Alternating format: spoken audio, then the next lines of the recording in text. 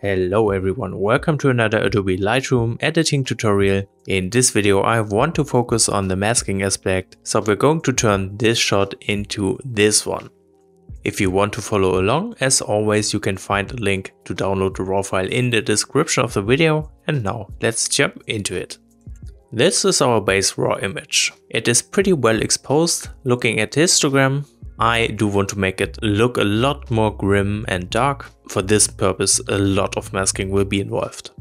Before we can apply the masking, however, we need to set the image up first. And that's done in the basic tab.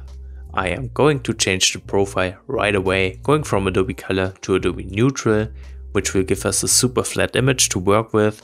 This means we have a lot more control over the contrast and the saturation and things like that. Next up, the white balance.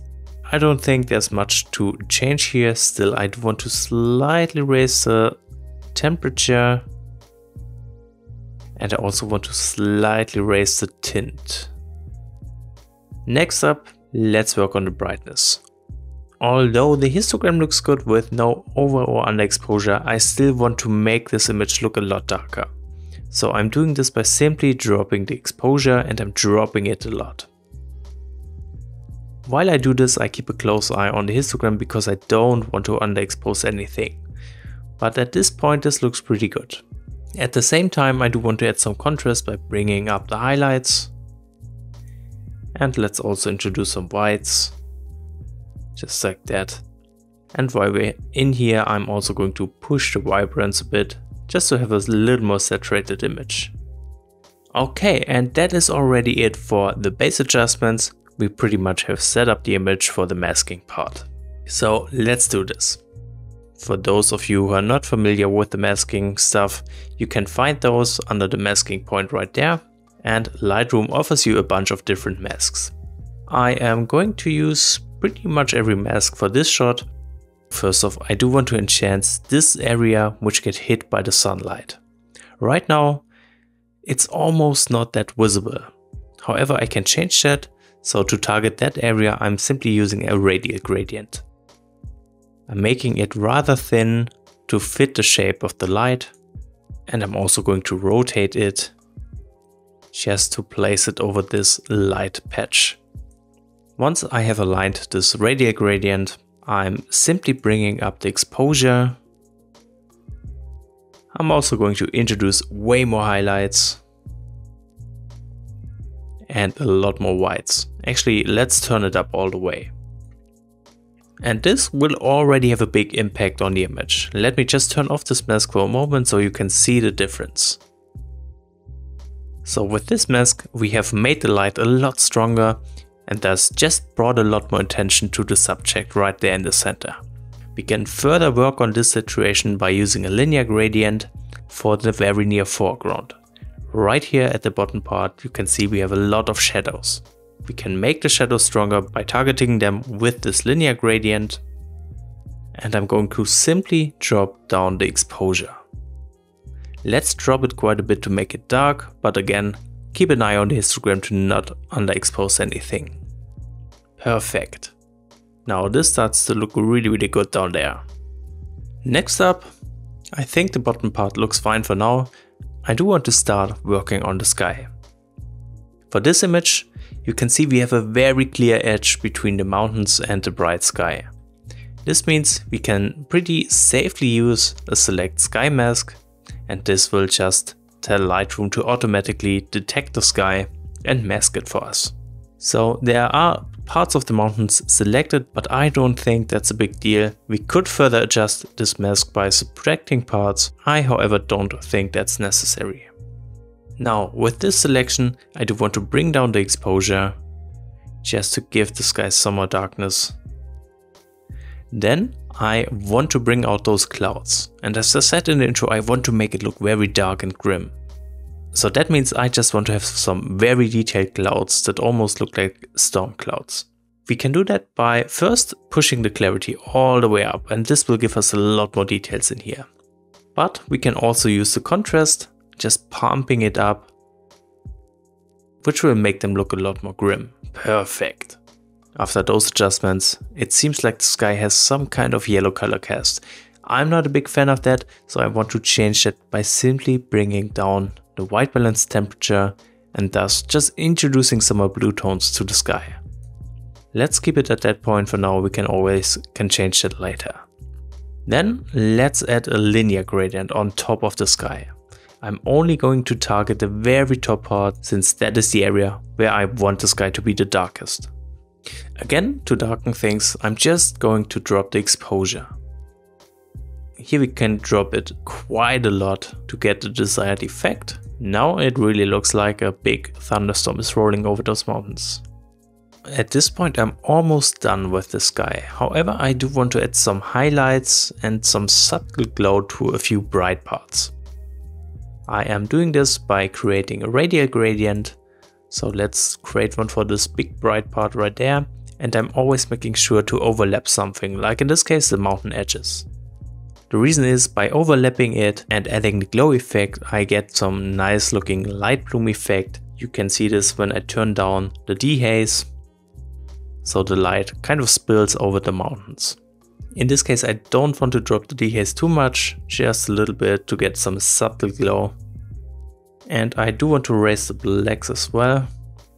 And finally maybe introduce some whites to make this area a little brighter. Alright, then let's adjust the size of this radial gradient a bit. I think that looks good. As I said, I do want to add this glow part on a few areas. So what I can do here is to just add one more radial gradient. And let's see, here is a good spot, I guess. Let's add one more on the other side. Perfect. Now after all those masking adjustments, the mountains start to go under a little bit. I do want to change that and add a lot more structure to them.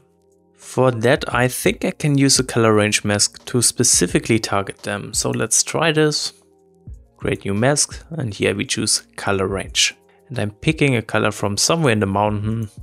Sadly, the color is too similar to other areas of the image, but we can make use of the refine slider to further target down the mountains. You can see this works pretty good. So let's not go too low, otherwise it might look strange but I think we can give it a try like this. What I want to do with this mask is to simply bring up the highlights first. Then I also want to introduce some whites, some shadows.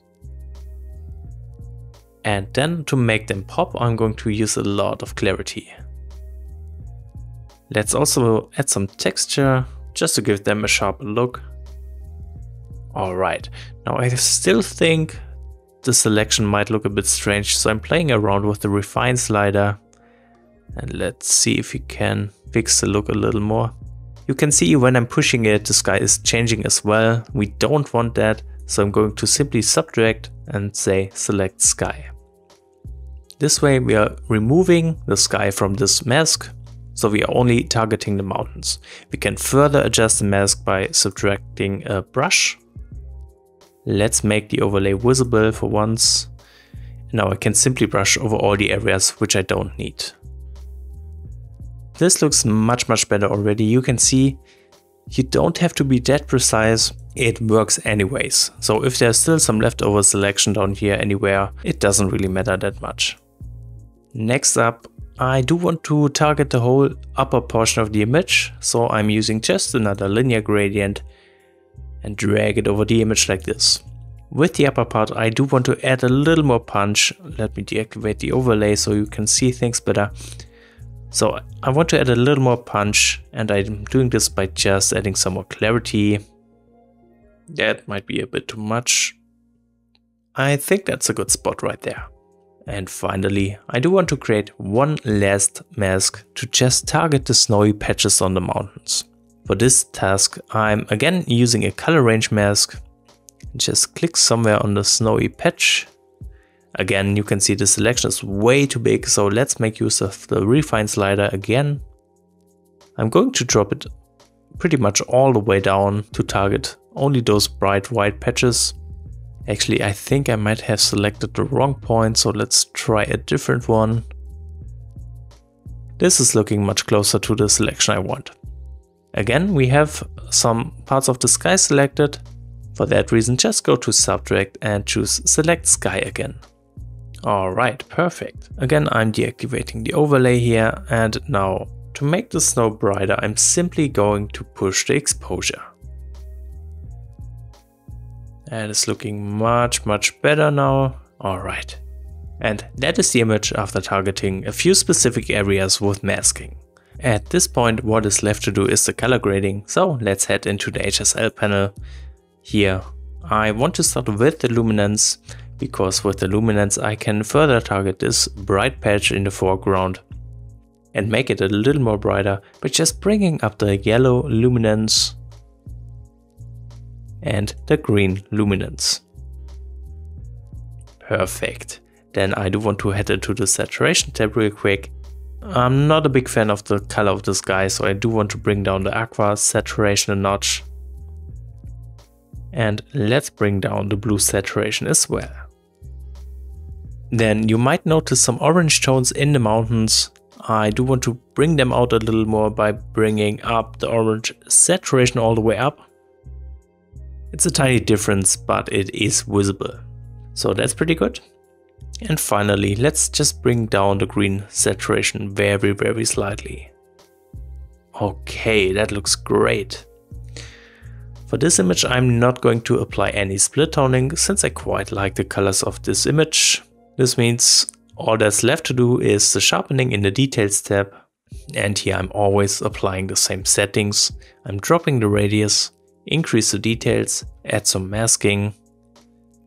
I only want the important parts of the image to get sharpened, just like that. And now let's push the amount. Perfect. And that is the finished image. So I hope this tutorial was helpful and interesting. If you have any questions left, as always, feel free to ask in the comments and thank you very much for watching this video.